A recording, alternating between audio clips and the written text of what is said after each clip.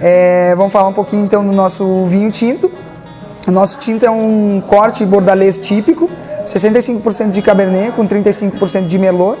E é um é o vinho que eu acredito que é um típico, é, tem características até um vinho mais é, de Bordeaux, um vinho elegante. É, pela região, a gente não tem uma potência de álcool, digamos, mas é um vinho alcoólico, tem aproximadamente 13,6, eu acredito, de, de, de álcool.